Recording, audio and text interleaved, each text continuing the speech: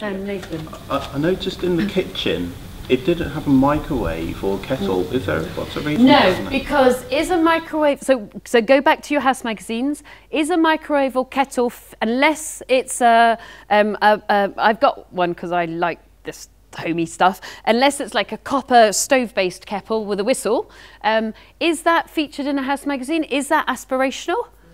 No, unless you've got the um, what's the the toaster that's the very trendy one. Dualit. Unless you've got a Dualit toaster, mate, ain't, don't count.